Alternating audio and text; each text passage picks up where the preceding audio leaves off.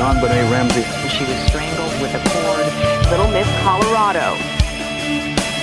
Six-year-old murder victim JonBenét Ramsey. Unknown intruder. Her brother.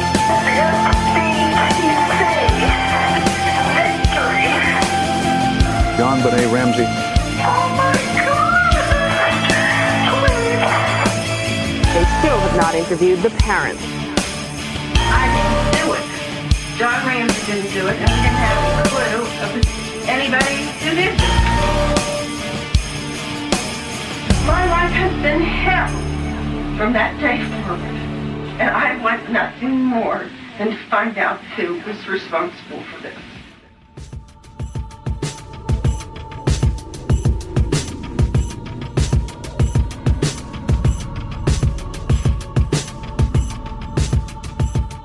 After John Ramsey and Fleet White found JonBenét's body in the wine cellar located in the basement, John in a hurry ran up the stairs, taking the body with him, placing the body on the floor of the kitchen.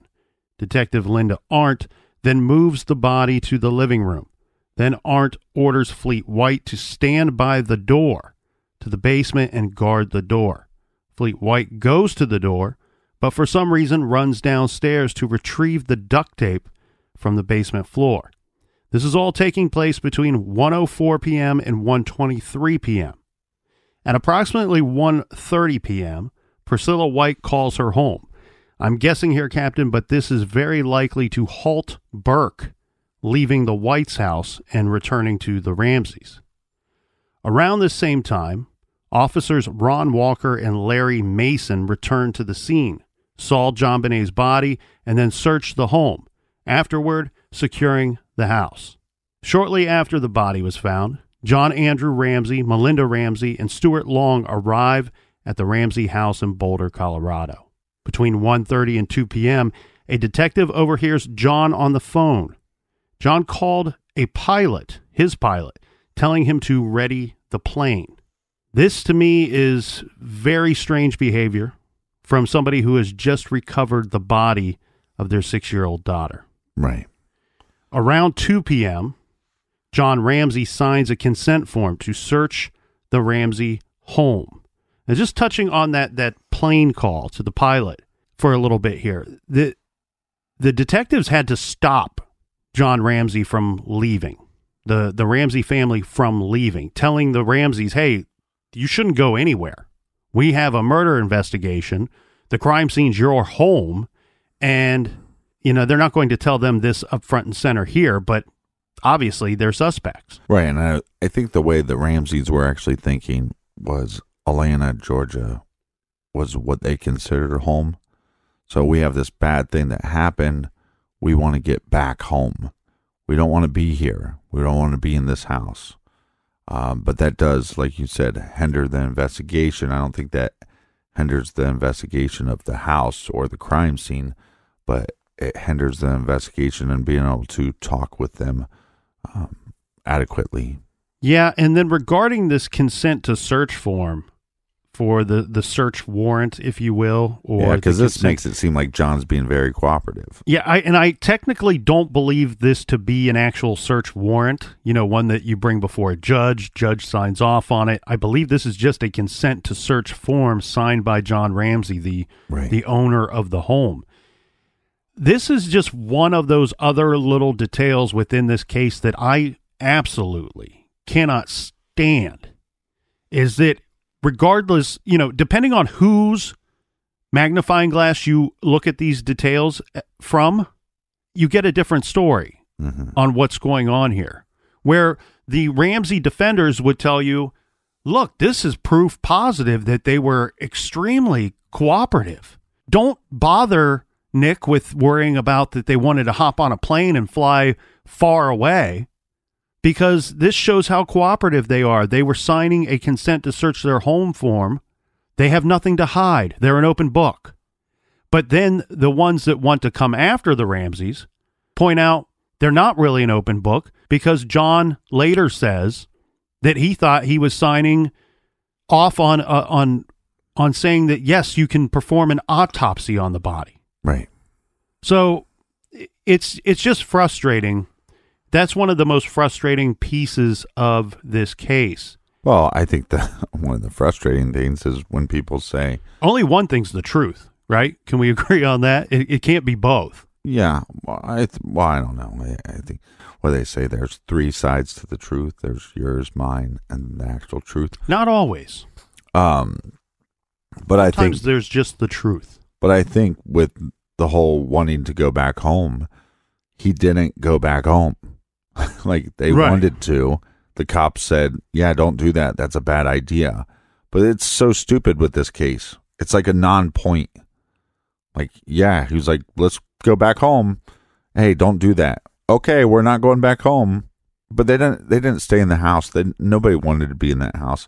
Oh, and I, ca- I cannot blame them. I And I don't even know if John ever went back in that house after that day because they ended up staying with their friends.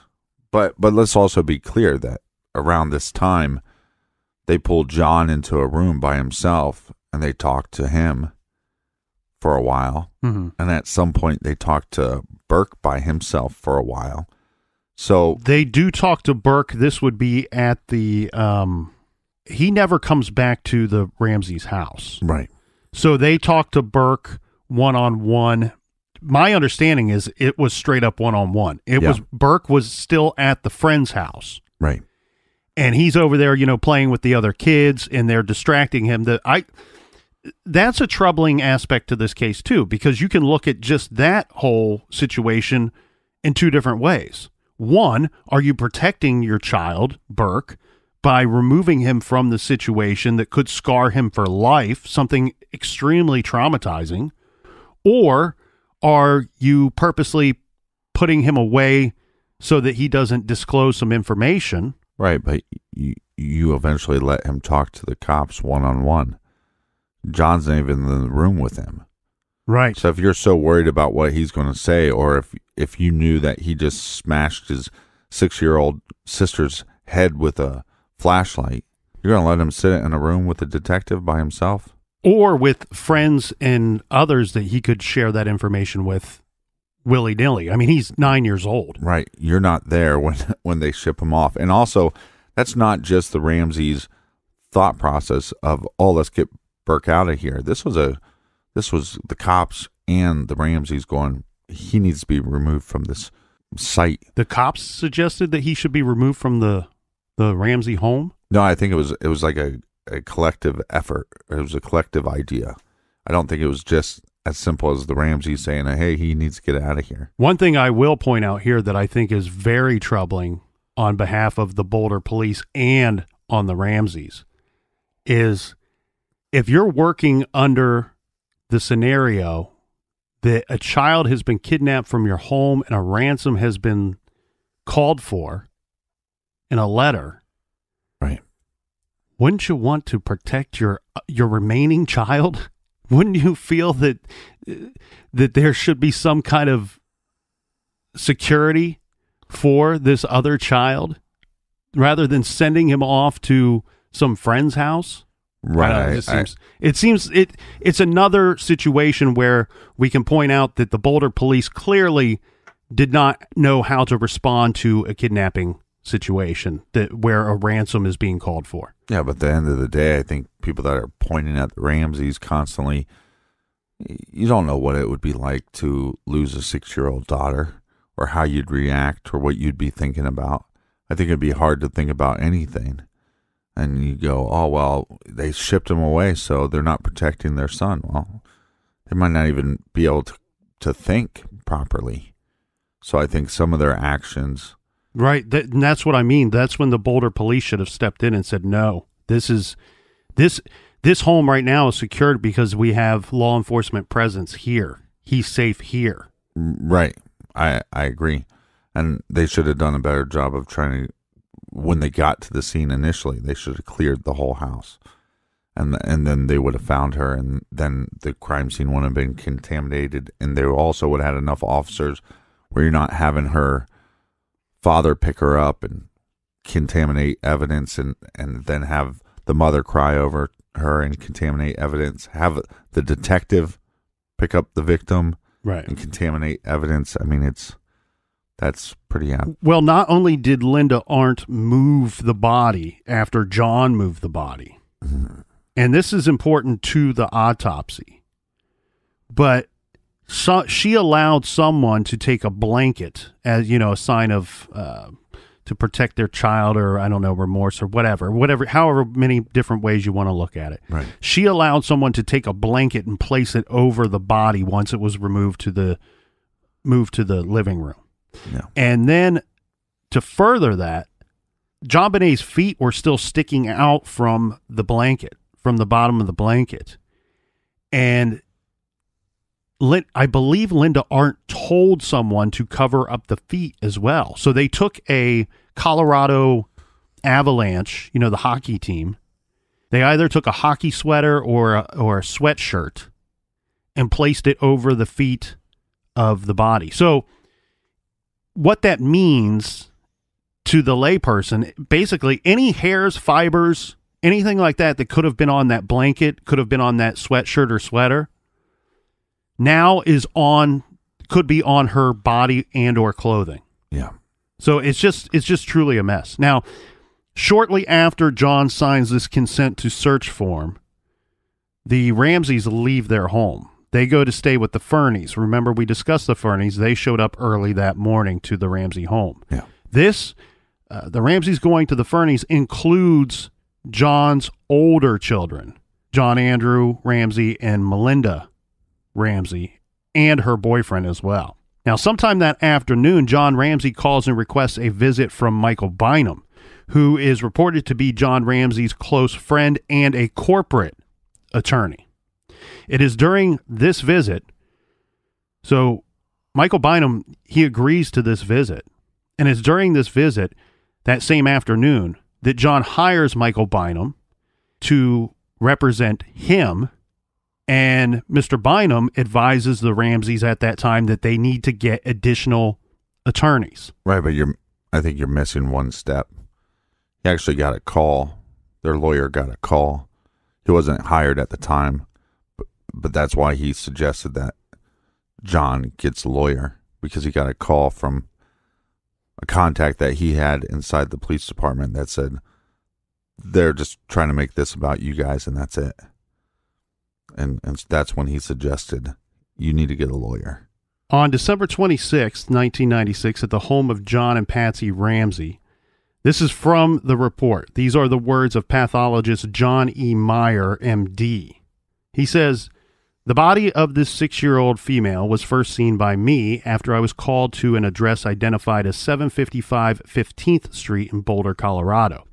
I arrived at the scene approximately 8 p.m. and entered the house where the decedent's body was located at approximately 8:20 p.m.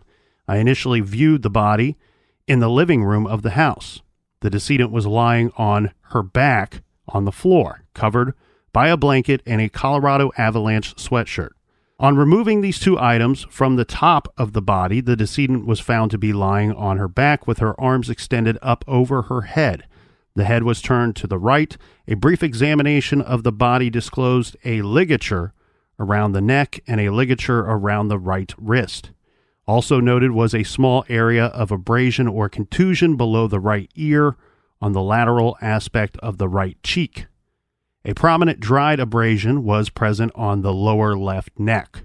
After examining the body, I left the residence at approximately 8:30 p.m. At 10:45 p.m. on December 26th, the body of 6-year-old JonBenét Ramsey is removed from the family's home. Before we move on to December 27th, Captain, I want to make sure that I point out here in regards to contamination of the body that it has been noted by several people. This is not one of these items that's in dispute or up for debate. This is across the board.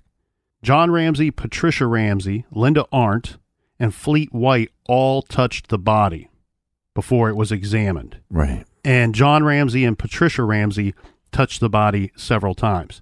I'm not pointing that out to indicate guilt or to indicate that the Ramseys were trying to cover something up. I think it would be a 100% natural reaction to want to go to your child, to touch your child. I'm just pointing it out for the, the purpose of evidentiary value. Yeah, I mean, it compromises the scene.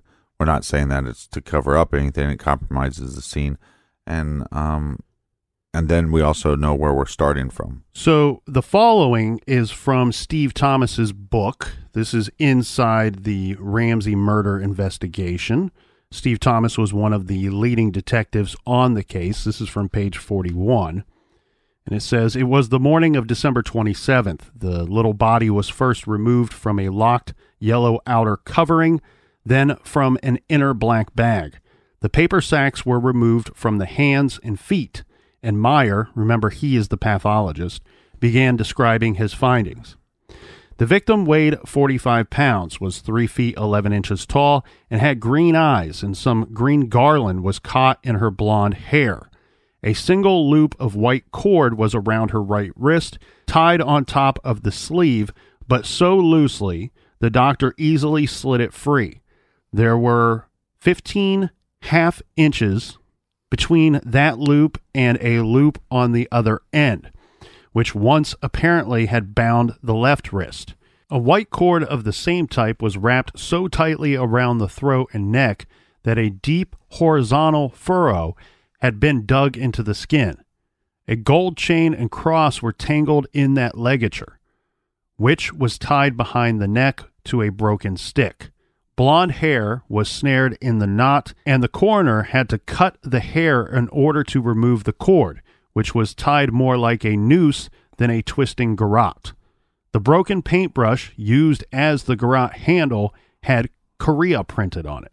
When Meyer clipped the nails of each finger, no blood or tissue was found that would indicate a struggle. He used the same clippers for all the fingers, although doing so created an issue of cross contamination.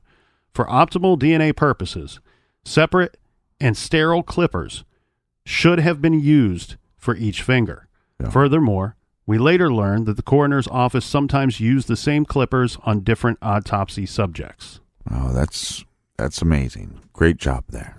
Captain, we could go through the entire autopsy.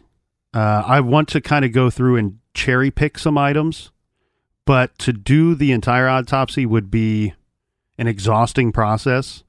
It's over 3,000 words Mhm. long.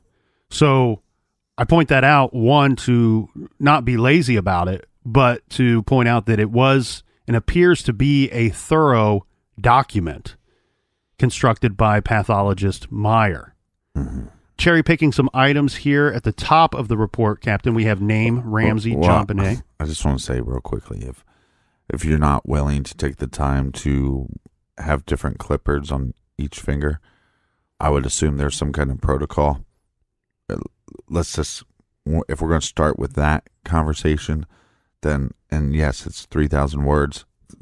I don't know if that means it's thorough. I just meant the document. I said it was a thorough document, mm-hmm. not a thorough examination. The thing here with these autopsies that gets difficult is you're solely relying usually on one individual to handle this process properly. As you're pointing out here, follow protocol. And protocol varies depending on what county you're in, what city you're in, what state you're in. Mm-hmm. It's I hate to say this, but it truly is a bit of a willy nilly process. It's one of those situations where you question the science of it because it's human error and it's and it can be laziness. It can be a number of different things. Yeah, and it can be opinion based. Correct. And the other thing too is, you know, I, I had a discussion once with with some people, and they said, well, there were multiple hairs found on the body from different sources, and that means that there were multiple killers. And I said, well, not necessarily. We've done enough of these cases to realize that that random hairs and fibers can end up on people for a number of different reasons that are innocent in nature Right. but to further that along in the way that the way that I connect this to this conversation is I've reviewed at least two cases where later we learned that one of the hairs found on the body came from the body bag that the body was placed into and it wasn't cleaned properly Right. or it was a county that was quite poor and they're just reusing body bags all the time. The report states at the top The name of the decedent is Ramsey JonBenét, date of birth August 6th, 1990, age 6, uh, sex female, autopsy number 96A155, death date and time December 26, 1996, 1323. So 1:23 p.m. This is interesting. They have to well, I guess they don't have to, but per protocol are supposed to put a time of death on this form whether they come up with an actual time of death or not. And in this situation, 1:23 p.m. is put on this document because that's considered to be the agreed upon time that the body was in the living room. Mm-hmm. We know she didn't die at 1:23 p.m. And in fact, there was no real time of death that was truly established in this case. Steve Thomas says that the detectives were told to work with a window of 1 a.m. to 7 a.m. And then he kind of backs into that a little bit and shrinks that window based off of some information we know to be true. The 911 call comes in before 6 a.m., so you can go ahead and take away 6 to 7. Now you're left with 1 a.m. to 6 a.m. Right. I like that. And I do like, you're going to hear me question Steve Thomas's actions and, and theories and, and how he came up with some stuff as we move forward. But I want to point out that personally, I find his investigation to be interesting in, in a sense that there are pieces of it that seem incredibly thorough. Where even on the timeline of the day when the body's found, he has multiple times for when people arrive to the house inside his report and inside his notes. Some people point out, what a terrible job. This detective has multiple times for the same people arriving to the house. It, this can't be an accurate document. Right. Steve Thomas never claims for that to be an accurate document. What he's saying is, I've talked to everybody. Somebody tells me person A arrives at this time, and then somebody else tells me person A arrived at that time. Until I can prove what time that person arrived, I'm leaving both in my report and in my notes. Both are correct. So I, I find that portion to be well done on on Mr. Thomas's behalf. Yeah, because like you said, I mean, he's not just going, okay, well, I talked to this person, I talked to this person, and I believe this person more. Right. He's just saying He's no, leaving it on there Right. until he can prove other uh, otherwise. Yeah.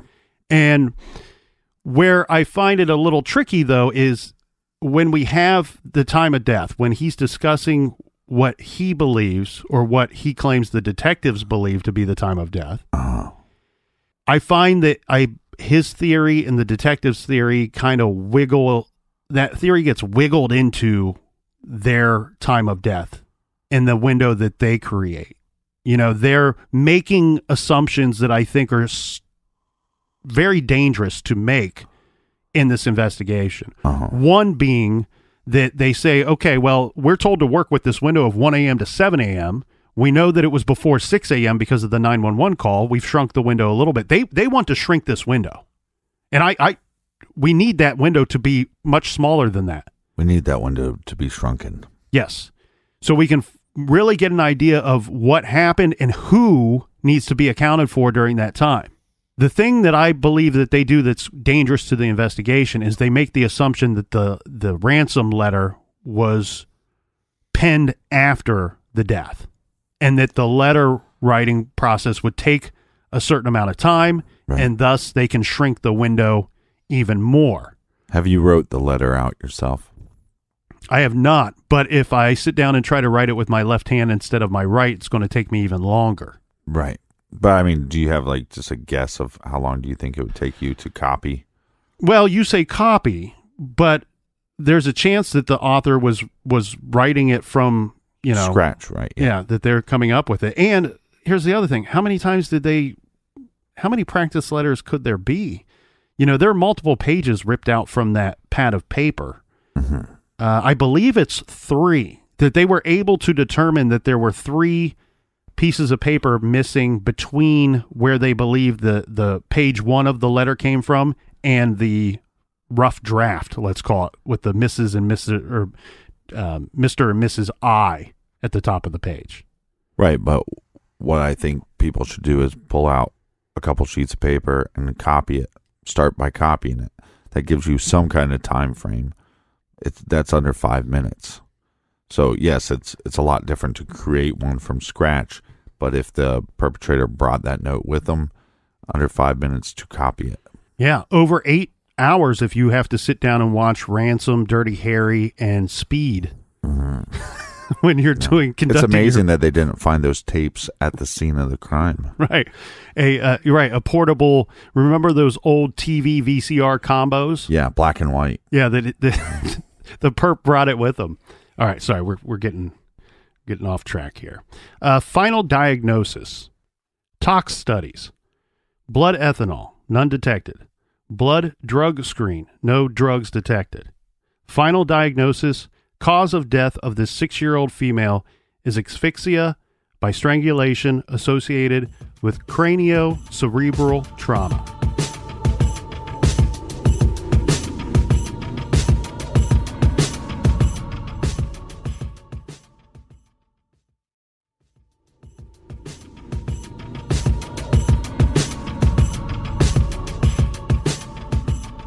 Cheers to you, Captain. I'm raising a big, big glass of Christmas Bomb 2019 by the awesome folks at Prairie Artisan Ales Garage Grade.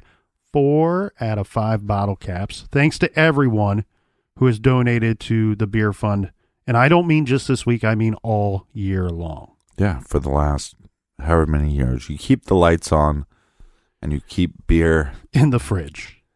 well in our mouths as well. Picking up where we left off here, Captain, to put it quite frankly, hmm just to muddy the waters even more in this case, we have basically two causes of death declared by Mr. Myers, MD. A term that we will probably be discussing quite a bit. I want to describe this to everyone just so we're all on the same page as we move forward. The term will be garrote. The general consensus being here that a garrote can be made out of many different materials, including ropes, cable ties, fishing lines, nylon, guitar strings, telephone cord, or piano wire, anything of that type of nature. A stick may be used to tighten the garrote. This is a Spanish word which actually refers to the stick itself. In Spanish, the term may also refer to a rope and stick used to constrict a limb.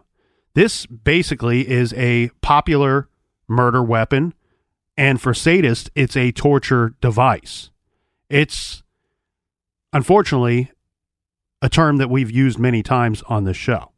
Continuing with our exam here, Captain, the decedent is clothed in a long sleeved white knit colorless shirt. The chest area contains an embroidered silver star with silver sequins. Tied loosely around the right wrist, overlying the sleeve of the shirt is a white cord. At the knot, there is one tail end, which measures 5.5 inches in length, with a frayed end. The other tail of the knot measures 15.5 inches in length and ends in a double loop knot. This end of the cord is also frayed. There are no defects noted in the shirt, but the upper right sleeve contains a dried brown stain, 2.5 by 1.5 inches, believed to be from the nose or mouth. There are long white underwear with an elastic waistband containing a red and blue stripe. The long underwear are urine stained over the crotch area and legs. Beneath the long underwear are white panties with printed rosebuds and the word Wednesday on the elastic waistband.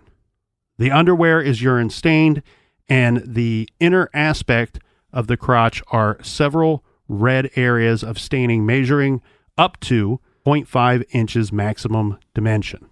To touch on this, what we've just reviewed here, Captain, the in regards to the urine, this is a big, big thing in this case because what we would learn very early in the investigation from the Ramsey's housekeeper is that JonBenét was known to wet the bed quite frequently as well. Her statement to detectives was that often when she would come in in the morning, that Patsy would have already stripped the bed, placing the sheets in the washer. And then when the housekeeper would get there, you know, she'd transfer them to the dryer, sheets are dried, and then apply them back to the bed. And this was at times a daily routine. I believe her statement was that this was a daily routine leading up to about 30 or 40 days before the murder. And it had just kind of gone away. It was almost like JonBenét had uh, grown up from that, that she was no longer wetting the bed. I might be mistaken, but I think at one point she was not wetting the bed, and then she started wetting the bed again. That's exactly right. That's ex- the same thing that I heard, and I believe that was the statement from the housekeeper. The detectives also found pull-ups. You know, like the they're they're not quite diapers; they're for older children. Yeah, I wear them. I I wear them to concerts, so I don't have to take a break to go to the bathroom. I don't want to miss anything. Now, I wear them when I'm in the garage. there were pull-ups found in the home. And there was some question if JonBenét was known to wear these. I'm guessing that she would. I don't see why pull-ups would remain in the house when you have children that are 9 and 6 years old. Just look at the pictures of their house, man. It's a mess. That's true. they, It's a hot mess. yes. One of the the reason why we point this out here is that one of the big theories that has lasted all these years is that JonBenét wet the bed that night and in you know Anger. anger in uh, an impulsive reaction Patsy freaks out and throws the kid across the room or hits her over the head with something and it's this all came about because she wet the bed once again Right. and Patsy had just been through it all, and this was the final straw. She lost it. Didn't mean to hurt or kill her child, but that's what she did. And then, It was like potty training abuse. It's it's actually pretty common. Like the it, even people that wouldn't you want to think would hit their kids or be violent towards their kids, they can be if the kid is not being potty trained correctly or or is not able to do such. Right. so we have to address this because we do have in the autopsy report from the external examination that there was urine on the clothing. Mm-hmm. I do want to point this out, though. We should be clear here that this could have come about at any time. It doesn't necessarily mean that she 100% wet the bed that night. This could have t- she could have she could have wet herself during an attack. That's extremely common. She could have wet herself after, you know, in death. Yeah. So to point to that and say, "Hey, she had to have wet the bed," and this is the only this is the explanation we've come up with due to that fact. Again, I think that's a dangerous assumption to make in this investigation. To further this out a little more, and you know, I hate to I hate to throw the warning out there that it's going to get a little gross because it seems only sensical because we are discussing an autopsy. But Mm. Or It- the fact that our show is called True Crime Garage. in in the uh when discussing her wetting the bed there's Mhm. also reports that she has defecated in the bed before multiple times Mhm. there's also statements that burke would defecate in JonBenét's bed Mm. I don't know either one of those to be true. It seems to me like the one that we can really hang our hat on here that seems to be the most true is the bedwetting situation. This is brought up by multiple people. Mhm. And the the other bit I I can't say for certain that that I believe either one of those. Now, what would be pointed out during this investigation, and these aren't my words, but bedwetting, defecating in the bed, things of that nature, it was pointed out that sometimes that is what you would see when somebody is being molested. Not only molested, but usually when they're being molested by somebody within the home or within the family. The reason for that is that in those situations, sometimes the victim will do that consciously or unconsciously, subconsciously, whatever it is, Mhm. because they want to appear less desirable or gross to the perpetrator. It's almost a way of protecting themselves. yeah. Correct. That I point that out because that is one of the theories as well in this case. I also want to state 100% that there's never been any evidence before or after the murder of JonBenét Ramsey that John or Patsy had that they were ever involved in any paraphilia at all. Yeah, because let's be clear on something. They searched their house. I think they actually called it. There was one magazine that called this murder kitty porn murder. They searched the house for porno and they did not find any. Right. So, and then there's also a, a rumor that they had all these um, books, uh, or one of the books on, in their study was opened up to incest or something like that. I believe it was that a dictionary Yeah. that the word incest was marked in a, a dictionary. I question that one too, Captain, because that's one of those ones that you hear in more salacious reports on this case. Mm-hmm. I really question. I feel like that would be a, a more well known fact if it was a fact. But we what we do know as a fact is they didn't find any pornography in the house. Right. And to top that off, these both parents have other children. There's you know, there's never been any any complaints by any of the other children that that Patsy or John was ever involved in anything like that. Mm-hmm. And to further that out even more, we have Melinda on record multiple times saying her father just wouldn't be capable of such an act and that he be it murder or molestation. Mm-hmm. While we're on the subject, though, of the bedwetting situation, one thing that I did find particularly strange in this case, and this is well reported too, that JonBenét Ramsey had 27 doctor visits in the course of the three years leading up to her death. On an average, that puts her at like nine a year. Mm-hmm. That's a crazy amount. The doctor, when asked about this, states that that was for the the pediatrician states that these were for all normal reasons. She did have some sinus issues, I guess, that would be cause for reoccurring visits. I also wonder too. We know the situation of the accidental time when Burke hit her in the face with the In the Golf face. club. Yeah. in the face. In the face. Mm-hmm. That in itself, though, I want to point out just just something like that requires multiple doctor visits. I was looking for like a a, a straight up list. Well, yeah, you'd have if there was stitches, you have stitches. Then you have to remove the stitches. Well, we know Then that maybe she a went to a consultation.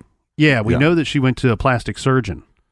So just like you pointed out there, that that starts with an initial doctor visit, referral to somebody, consultation, the the surgery, a follow up. Right there, you have four out of the twenty seven. Well, and you have a stay-at-home mom. So I, I think, yeah, maybe for people that are everybody's working and there's not a lot of money, little things you're just going to let go. When you have the time to take your daughter in for every little thing and you have the money to cover it, I, I don't think that's unreasonable. External evidence of injury, located just below the right ear at the right angle of the mandible, 1.5 inches below the right external auditorial canal, is a small rust colored abrasion. In the lateral aspect of the left lower eyelid is petechial hemorrhaging. I'm going to skip some portions of this autopsy report, Captain, because there are multiple pages that go through all of these petechial hemorrhaging and Right. all the hemorrhaging that takes place. We know that we've already discussed that strangulation was involved, and anybody that's listened to this show or other true crime shows knows that hemorrhaging occurs during those types of situations. But to specifically describe some of the report here, this part I believe to be important. Wrapped around the neck with a double knot in the midline of the posterior neck is a length of white cord similar to that described as being tied around the right wrist. This ligature cord is cut on the right side of the neck and removed. A single black ink mark is placed on the left side of the cut and a double black ink mark on the right side of the cut. Okay, so that portion of that last two sentences of his report are describing the pathologist's actions. Mm-hmm. He's saying I removed it by cutting it and then I placed markers indicating Where where the it, cuts yeah. took place. The knot is left intact. Extending from the knot on the neck are two tails of the knot, one measuring four inches in length and having a frayed end, and the other measuring 17 inches in length, with the end tied in multiple loops around a tan brown wooden stick, which measures 4.5 inches in length. This wooden stick is irregularly broken at both ends, and there are several colors of paint and varnish on the surface. Right. Printed in gold letters on one end of the wooden stick is the word Korea. The tail end of the other word extends from beneath the loops of the cord tied around the stick and is not able to be interpreted.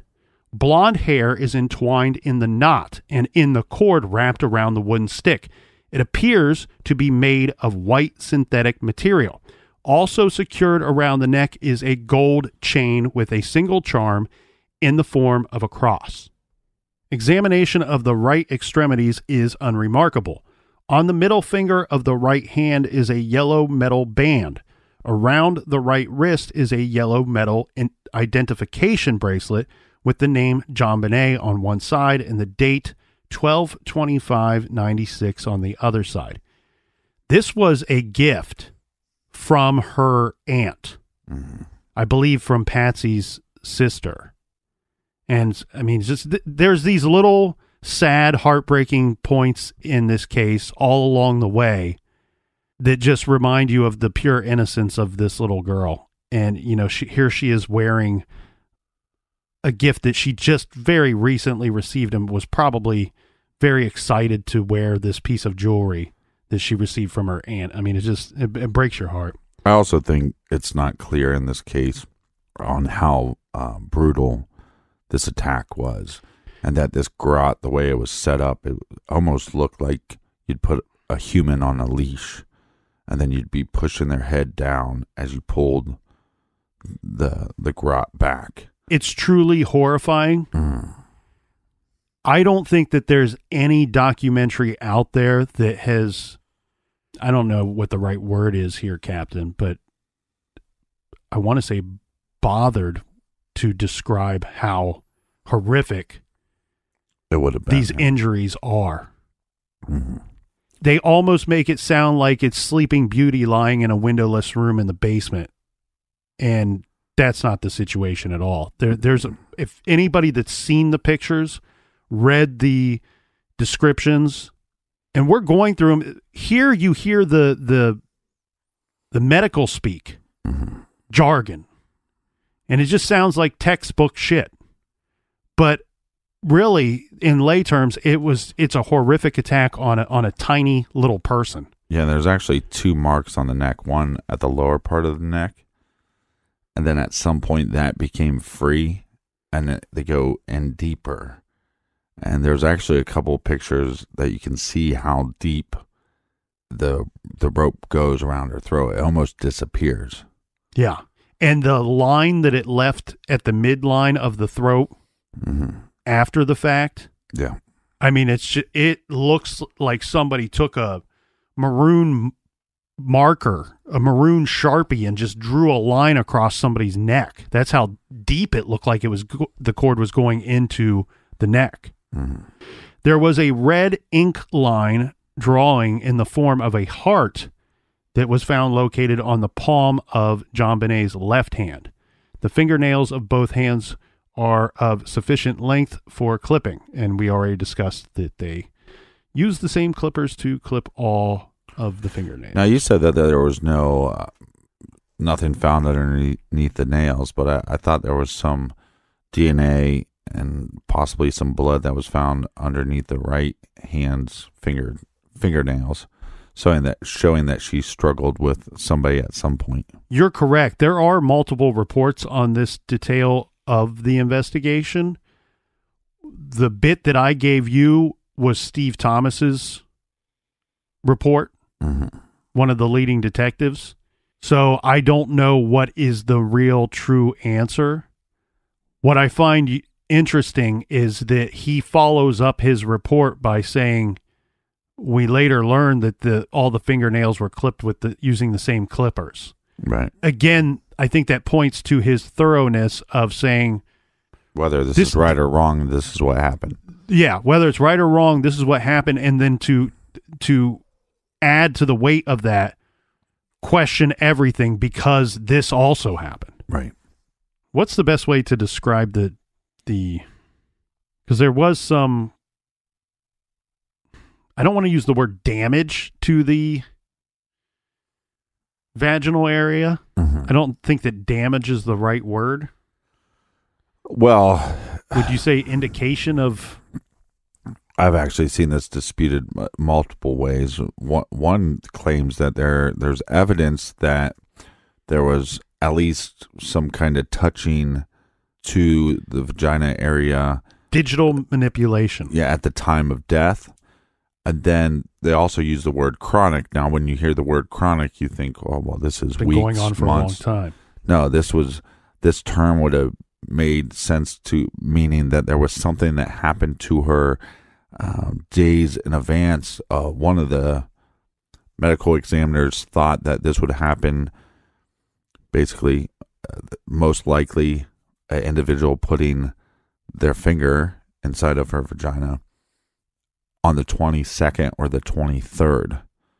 Now, other medical examiners have stated that some of this bruising could be due to hygiene, The bedwetting, the irritation of the irritation, yeah. of having urine stained clothing on the skin, right up against the skin for Well, and sometimes they a period get of time. you get rashes, and so then a mother would use, um, they would get some kind of medication to put on the rash, and you could then, you know, that's where you could get some digital. What do they call it? Well, I think to put it pretty as clean as we can would be to say that the reports out there state everything from chronic molestation to something as little as uh, irritated skin that could come from urine stained clothes or Right, but let's be clear about this. vigorous wiping. Right, but let's be clear about this chronic molestation. This is not. There was no signs of. There's there's no scar tissues to prove that she was molested for weeks and months and years. Not true. We're talking about Right. the time of her death and probably once a couple days before. That's all they prove. It also seems like there was wood fragments found in her vagina as well. I didn't personally see that in Dr. Meyer's report. Yeah, I think I saw that from Lou Smit. He does reference um, fibers Okay. as well. So again, with this with this area of the body, it's it's really it's up for de- to debate. Really, depending on who you talk to, this represents any number of things. What I feel that I've seen and heard the most, so I'm going to throw this in the batch of general consensus, would be that just as you pointed out, that this is something that occurred either at the time of death or shortly before and it could be anything from as terrible as digital manipulation or something uh, more uh, vigorous wiping or No, hygiene. No, no, no, no. I, I'm ruling all that out. What most of the medical examiners state is that the the choking, which people so haphazardly want to say is covering up for for something, right? That the the, the choking of JonBenét was is after the fact, and therefore it's covering up an accident. No, the choking was not an accident. It was on purpose. It was not meant to kill her. It was meant for sexual gratification. So if you have A, they believe that there was molestation the time of her death. And I, I think that that needs to be fact to me. Because it's like you don't have one or the other.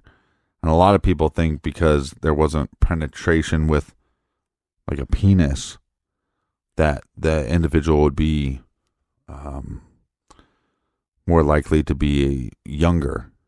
Or a crazed or disorganized offender. You typically see that Right. in those types of of murder cases. So the report says a one centimeter red purple area of abrasion is located on the right posterior. Sorry, I'm going to struggle with some of these words here, Captain. Posterior lateral area of the one by one centimeter hymenal orifice. The hymen itself is represented by a rim of tissue extending clockwise between the 2 and 10 o'clock positions. The area of abrasion is present at approximately the 7 o'clock position and appears to involve the hymen and distal right lateral vaginal wall. Mhm. We say all that to point out that it, that that's basically saying there's a small amount of damage or injury to that area. Yeah, bruising. Yeah.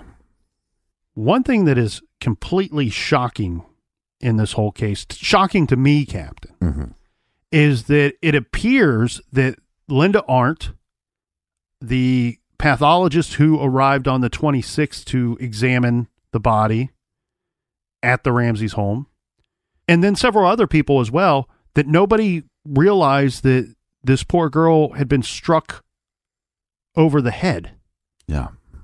it's it's almost like it took further detection that it wasn't you know you have the shocking scene of the garrote of the cord wrapped around this little girl's throat. Mm-hmm. Maybe it's the shock factor and you you you don't see what what might have been obvious but all the reports i've read and stop me if you've read any that that are different but it sounds as if this head wound which this this was a massive injury and we'll get into the details of it but it sounds like sight seen unnoticed Right.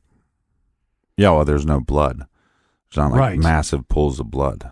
right and she had long blonde hair i believe it was was she uh, two two pigtails or ponytails whatever they call that Well, yeah, I mean, I, I, if you've ever seen one of your buddies like hit their head, especially when they have blonde hair, it turns bloody real, real quick. right but what i'm getting at is i don't know how much blood there was There wasn't. Right. And I don't know. I would like to have a pathologist or a doctor sit down with me and tell me the reasons why there's no blood. Obviously, one, she's already dead or near death at the time. Yeah, that's what most medical examiners, when they look at this, say, "Look, there's a lack of blood." So we, they believe, and all all the credible ones, the most credible ones that I've seen with this case, state she was choked. It was sexual. It's for sexual gratification. The perpetrator was choking her, either trying to touch her. Now that would be random. That wouldn't be as much most likely they were touching themselves while they're strangling her. Uh, she there's defensive wounds around her neck, meaning she was trying to stop the choking. At some point, some people believe it would have cut off the blood circulation to her brain. Um, and there's some signs of that. They they believe through the autopsy, and so I, I can't remember what they call it, but it's basically where y- you're dead. Um, And it's it, it happens almost instantaneously. mhm. yeah, and so they they also believe that you know normally if somebody's trying to strangle somebody in order to kill them, there's a lot of marks that are left like inside the neck muscles. There's strains, uh, different bones and stuff possibly could be broken within the neck, and none of that is seen here. That's why they believe that these these bruises within inside the vagina are from molestation because the evidence of the choking doesn't like I said it doesn't seem like the purpose of the choking was to kill her. It was to control her. So where it gets a little convoluted is a lot of medical examiners think that during this sexual gratification that the perpetrator then uh, either freaked out or or got into it too much and hit her over the head with something. Now, other people believe that the perpetrator knew that they that she was dead because they also there's also a temporal lobe bruising in the brain. And that's common when somebody is when somebody shakes somebody after death. Right. and so somebody chokes her doesn't mean to kill her shakes her she's dead. And then i think i believe that's when the the blow to the head happened. Because at that point the heart has stopped it wouldn't be pumping blood to the to the brain that would be one of the reasons why we wouldn't have pools of blood everywhere That is one reason. The other reason could be too is do we how much broken skin do we actually have with this strike? right And the the interesting thing here too is the the use of the garrote and the manner that it was used very likely could suggest that it's it's not only a torture device but it's also a sexual assault device hmm where you're using it because that's what this this sicko is into. And sometimes we see this a lot in a lot of cases that we've covered, especially with serials, that they will often choke someone almost to the point of death and then allow them to receive air and then choke them again. Right. And they believe that was happening with her because there there's signs of that for, from the autopsy. But let's let's be clear that shows like CBS's documentary on this case, it doesn't make any sense. You can't start off with the idea of that there was a, a blow to the head. You cannot start that off. They believe this blow to the head would have made her brain dead. Should be unconscious, minimum, and then because of the brain swell and the brain bleed, should be brain dead. And what happens if you're unconscious or your brain dead? You do not put up a fight if somebody is choking you. Right. So let's be clear. There's no need to restrain the arms right. f- from the perpetrator's perspective. Right, and I know a lot of people are going to sit there and say, "Well, but but all that stuff is to cover up some kind of accident." Let's be clear that CBS and everybody involved in that show were irresponsible for putting out that information. It's just factually not correct. And if you want to, I don't advise that you do this because you might have nightmares about this. But go look go look at pictures of JonBenét Ramsey's neck and see all those half moons of that six year old girl trying to stop somebody from strangling her.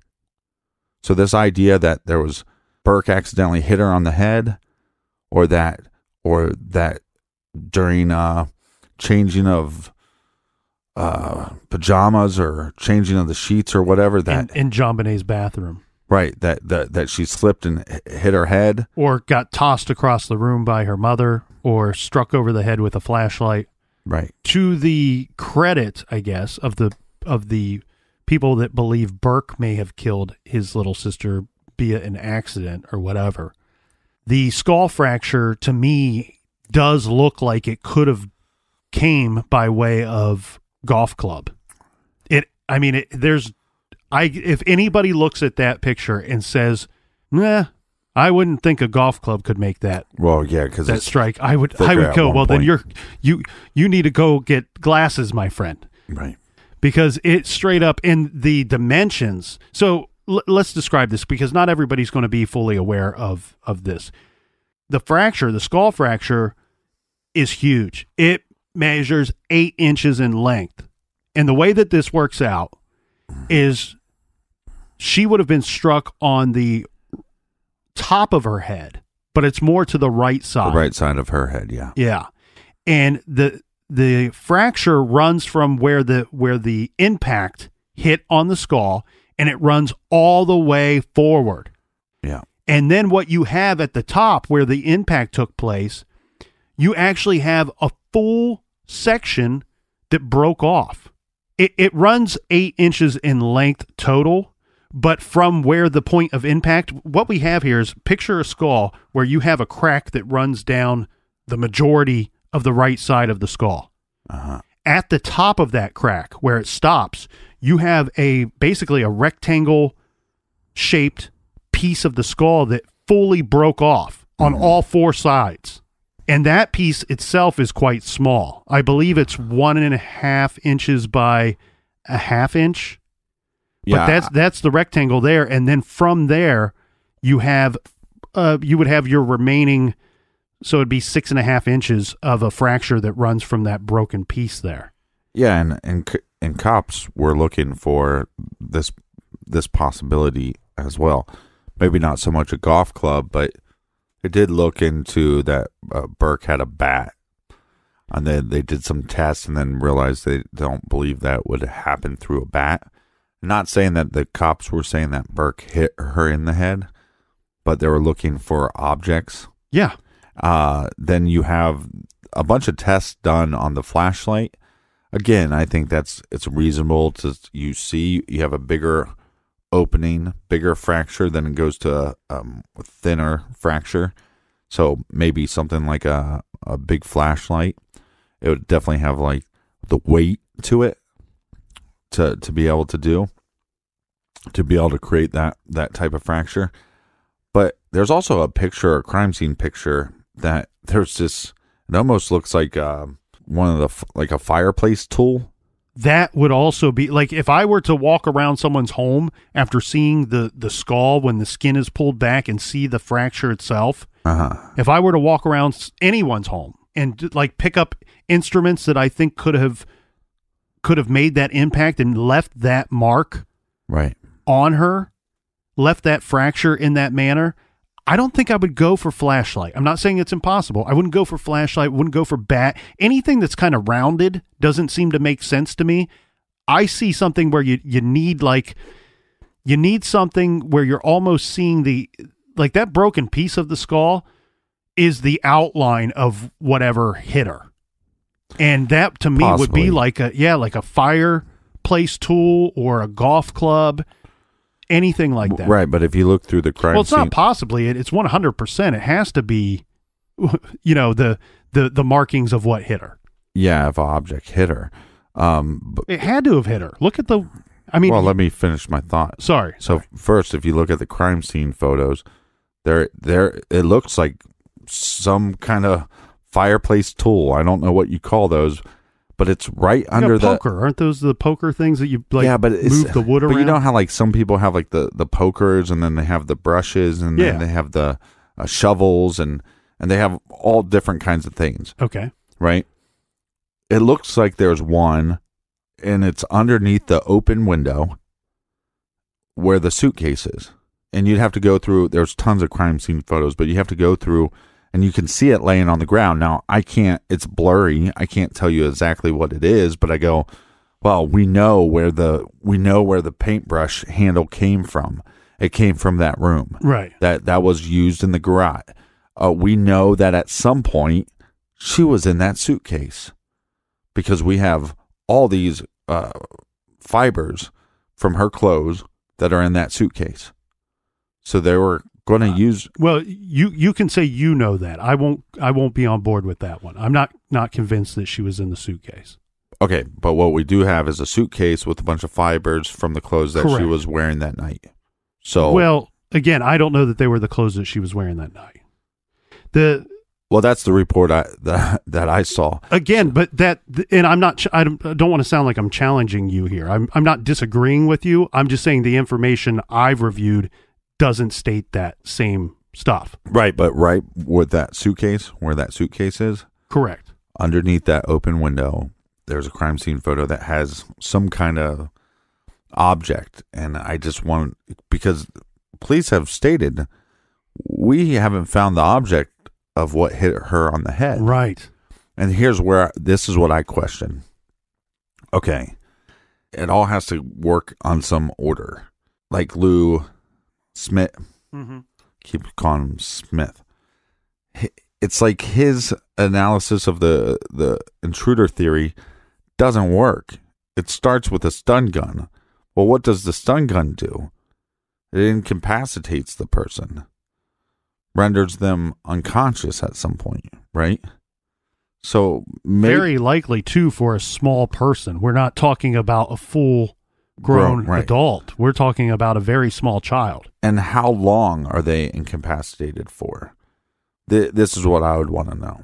I I could yeah, I don't think any of us can say because there's differing, you know, there's varying degrees of even these stun guns. But just as analysis, it doesn't make any sense because if I go, okay, I'm going to go up to JonBenét's bedroom and I'm going to hit her with this stun gun, and that's what's going to allow me to take her downstairs. Okay, at what point does she eat pineapple? So Well, we should be clear here for those that don't know. There was um, a substance found in JonBenét upon the, the autopsy findings that suggests that she ate pineapple or a substance that resembles pineapple shortly before her death.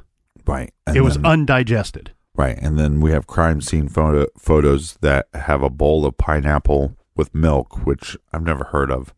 If my mother fed me pineapple, it was just pineapple in a bowl. I don't. That's weird. I've heard of yogurt and cottage cheese, but never milk. I think it's milk. Again, uh, don't don't quote me on that. But so, but my thought is okay. Well, Lou Smith, Lou Smith's Smith. intruder theory, have her get downstairs. She wakes up. She's supposed to be met by Santa Claus at some point. She goes downstairs.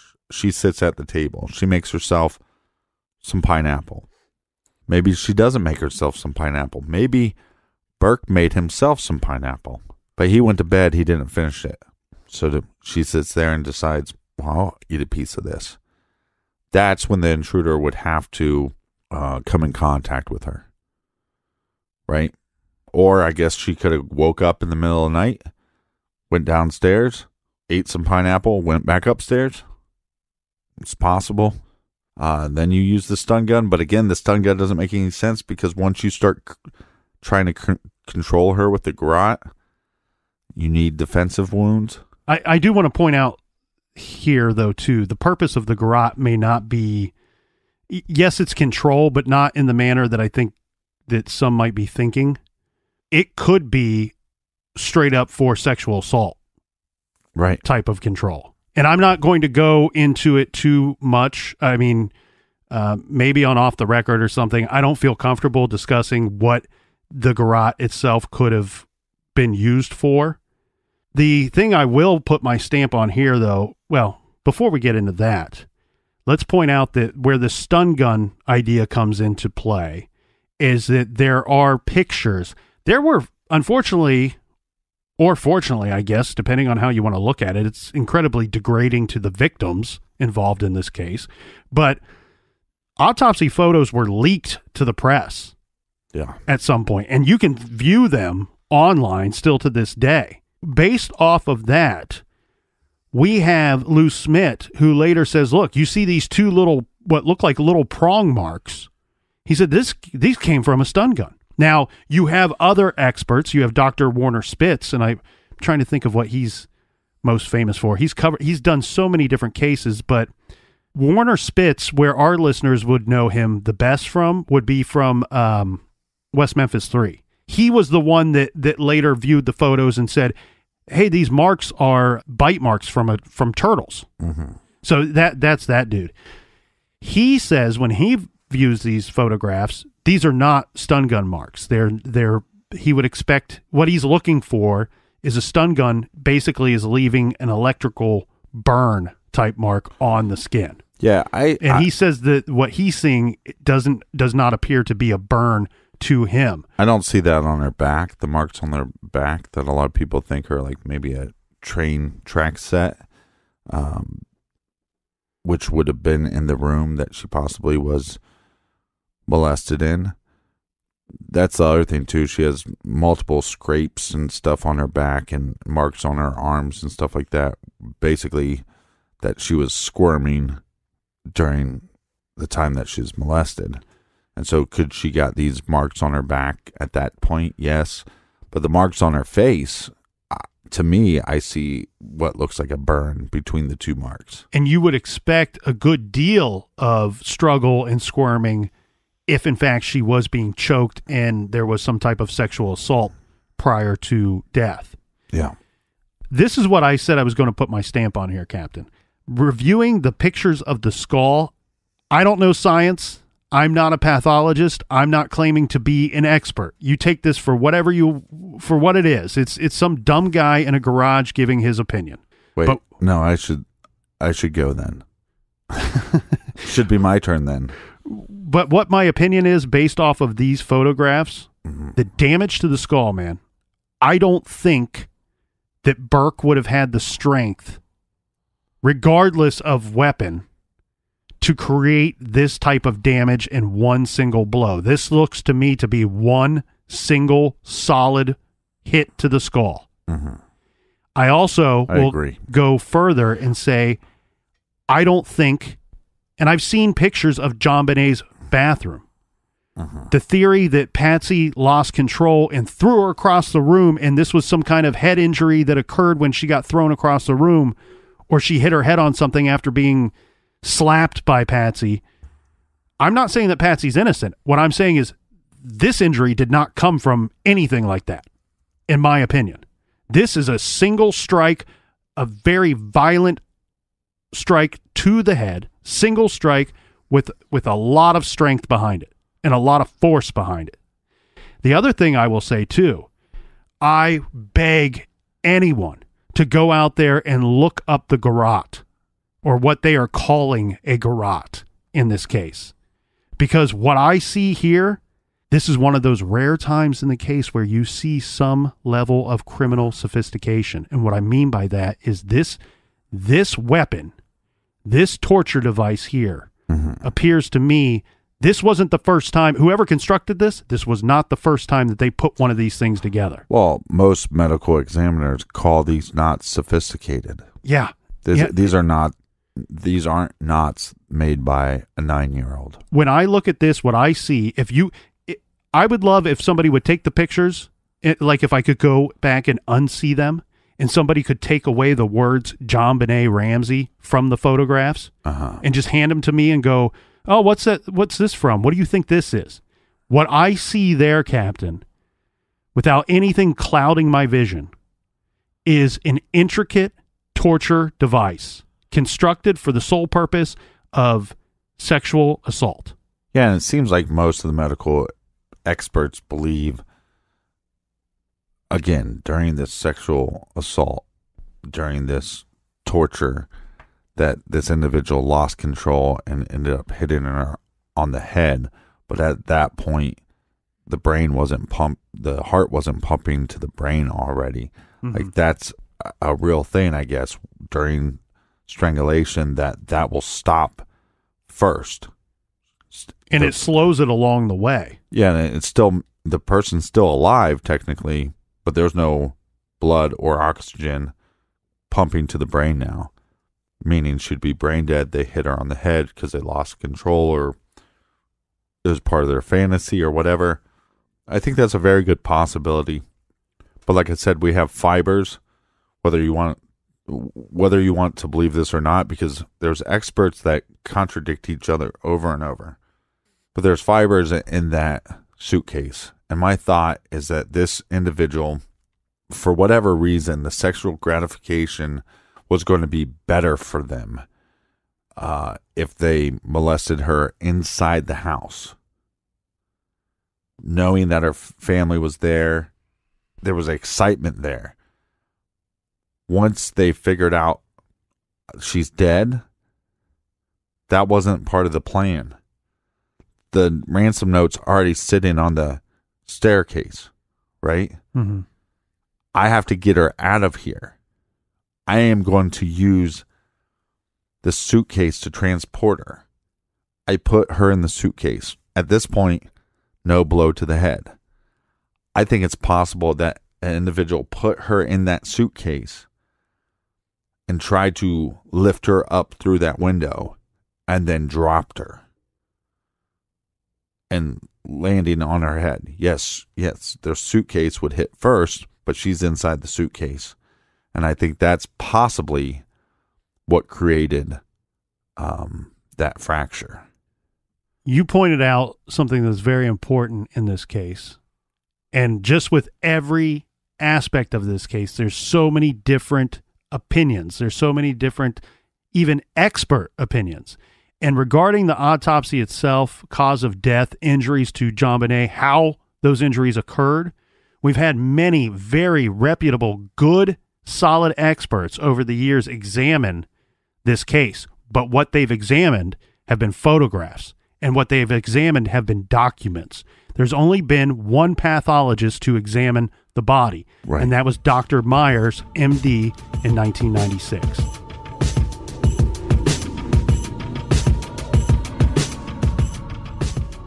For all of our old episodes, check us out exclusively on the Stitcher app, and we have a weekly show on Stitcher Premium called Off the Record. Cheers to you, Captain, and thanks to everybody out there for listening. Thank you for telling a friend, and thank you for all of the wonderful five star reviews. Please join us back here in the garage next week for episode five. Until then, be good, be kind, and don't litter.